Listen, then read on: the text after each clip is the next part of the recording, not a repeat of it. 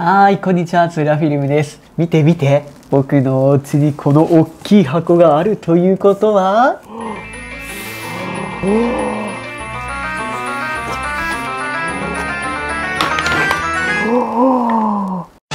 やったーはい、改めましてこんにちは、ツーラフィルムです。いやー、僕もね、やっと手に入れましたよ、α7-4。もうすごいね、人気の機種だよね。これ買う時にめっちゃめちゃね、もう大変だった。もうみんな買ったんじゃないかな。もうね、発売から1日経ってるから、ネット上でもね、かなりね、この α7-4 の情報が、出回ってるんだけど、僕もね、早速開けて使ってみたいなっていうふうに思います。いやー、嬉しいね。もう、いろんなこと言うのはやめるわ。もう早速開けちゃうね。いやー、嬉しいな開けてくよ。おー、これこれ、なんか α7-3 とかね、S3 も買った時もね、そうだったんだけど、やっぱカメラ買う時ってすごい嬉しいよね。うわ、すっげー。おー、もう内封物とかはね、もう本当にシンプル。あれ？なんか、いいすごい、紙袋？なんじゃこれ？あとストラップ、あとはバッテリー、もう見なくても触っただけでわかるわ。あ、こっちがバッテリーか。おう、バッテリー。あとは何じゃろう、これは。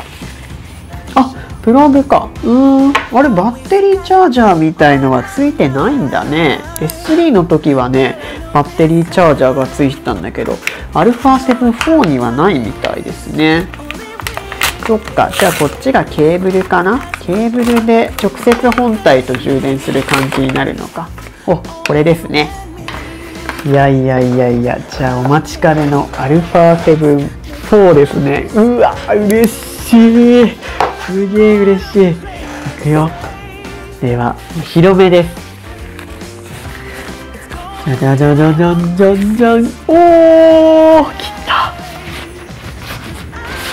じゃじゃじゃーんうおー、嬉しいあ、これが α7-4 ですね。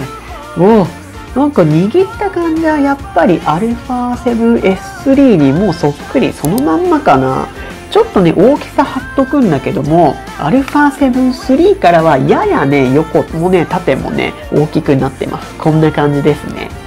いやーすごいですね。α7-3 の発売から約4年が経って、ようやくね、えー発売された α7-4。もうこれが発売される時はね、すごい盛り上がりましたね。もうね、すごい外観とかは S3 ですね。カスタムボタンとかの位置も一緒だけど、この露出ダイヤルのところだったとこがね、若干変わってますね。これがなんだっけな。なんか違うんだよね。忘れちゃったけど。いやー、すごいですね。うわ、嬉しいなぁ。帯にも α7-4 っていう風に書いてますね。いやー、やっぱりね、これ買おうかすごい迷ったんだよね。もうベーシック機なんだけども、30万近くしたから、これをね、買うのはどうしようかな、見送りにしようかなってすごい迷ったんだけども、買った理由がやっぱりあって、僕ね、ソニーのカメラ1台しか持ってなかったのね。α7S3 しか持ってないんだけど、僕は動画だけじゃなくって、写真も動画も一緒にやるから、動画はね、本当に 4K120p まで撮れて素晴らしいんだけども、写真ってなると、もうね、暗所を生かすために、この有効画素数がね、1210万画素しかないから、写真においてはね、ちょっとね、うってね、物足りないところがあったんだよね。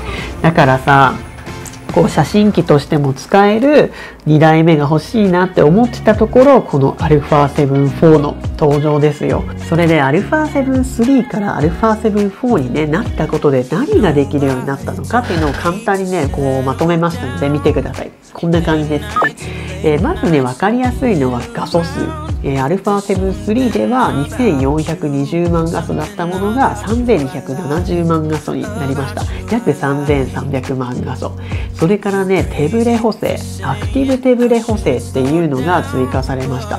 これはね α1 や S3 にあったんだけどもうねジンバルとか使わなくてもこうね持ち歩いてるだけでも手ブレがねもう激減した。これはね本当にすごいよ。そして瞳 AF 確かね α7-3 は動画では使えなかったはず、えー、写真動画でも、えー、人動物それから α7-4 は鳥にもねフォーカスが合わせれるようになったのでもうねフォーカスを外すことがほぼないですね。もうすごいこれは。そしてねメニューがね新メニューになりました。ちょっと見てほしいんだけどもこうやってほらリスト化されてるんだよね。α7-3 ではなかったよねこれね。こうやって次の項目が分かりやすくなったのでねすごいね自分の設定したいものがね探しやすくなりましたね。いやこれは本当にすごい。あとはね、えー、モニターの解像度こう覗いた時のこうが解像度だとかモニターのね解像度が変わったことで撮った写真だとかこれから狙う写真がね鮮明に見えるからこれは本当にすごい。それからえっ、ー、とね、4K だったら確か 4K30p までしか α7-3 は撮れなかったのに対して α7-4 は 4K60p まあちょっとね1.5倍クロップされちゃうんだけども 4K60p まで撮影することができます。それからですね、えー、ビット数ビット数が8ビットから10ビットになりました。これは本当にすごい。S3 とかねもう α1 と一緒のね公式帳会長で取れるっていうのは本当に違う。2ビットの違いってねちょっとここでは説明省くけどもすごい差なんだよね。すごい綺麗にね撮影できますよ。あと言ってないのなんだろう。ああと PP ね。α7-3 ではこうカラープリセットが PP1 から PP10 まで HLG までしか取れないんだけども PP11S シネトーンっていうのが使えるようになりました。現にねこのね PP11 で今も撮ってるんだけどこのね肌の感じちょっと汚い肌でごめんね。この肌の感じとかもすごいねよく撮れるからこれは動画やる人は本当おすすめ。僕はねあのログとかで撮るのが本当苦手だからこう PP11 には本当助けられてますね。って感じですね。いやちょっと早口で喋ってね誰もが言ってるような概要ばっか話しちゃったんだけども今ねこう S3 しか持ってなかったからこれからはねこの2台のカメラを使って写真は α7 IV 動画は α7S3 っていう風に使い分けをして撮りたいなっていう風に思います。やっぱりね2台あることで全然違うんだよね。こう商品紹介とかさ YouTube とかやってると別角度からね2台でね撮りたいみたいな瞬間が結構あるんだけどもそういう風に撮れるししかも色情報が同じだから編集においてもねすごく楽だなっていう風に思いますね。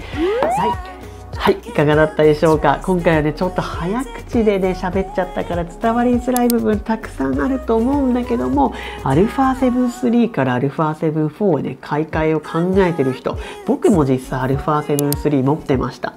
α7-3 を売って S3 の方にね、移行して、えー、今ね、α7-4 も一緒に持ってるっていう状態だけど、α7-3 からのね、あんまりアップデートないとか、高いからっていう人も結構いるんだけど けど僕はねもしね買い替えられるなら買い替えた方がいいと思います。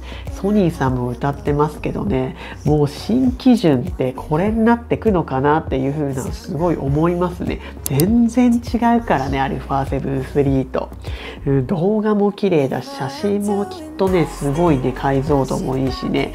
もうこれから写真とか動画をやっていくっていう人がいるのであればこの α7-4 僕はひどくおすすめしますね。